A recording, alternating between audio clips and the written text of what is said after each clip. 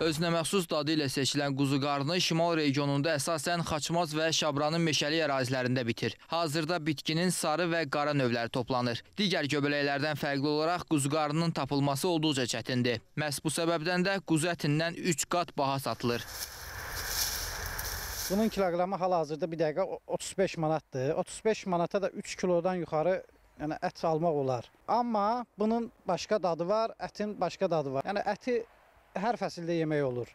Yəni bunun ay yarım, bir ay hardasa 40 gün müddəti var. Ola bilər ki, 2 nəfərə 2 kilo da yığırıq, 2 nəfərə 3 kilo da yığırıq, 2 nəfərə, 3 nəfərə 1 kilo da ola bilər yığa bilmirik. Sadəcə düşməyindən asılıdır, rast gəlməyindən asılıdır.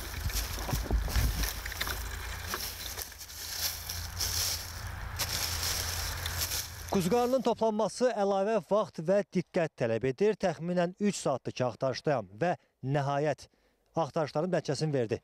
İlk quzqarnıya rast gəldim. Amma onu kol-kosun içindən çıxarmaq üçün əlavə əziyyət çəkməli olacam.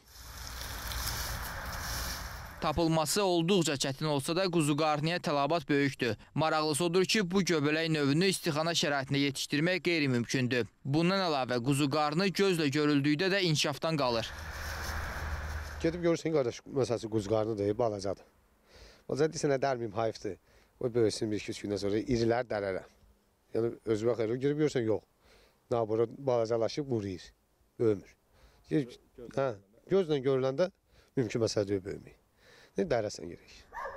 Martın sonları quzu qarnının ağ növü də bitəcək. Meşələrdən göbələyin toplanması mayın əvvəllərinə kimi davam edir. Elnur Abdurrəhmanlı, Elmar Əbülfətoğlu, Rizvan Hacıyev, Şabran.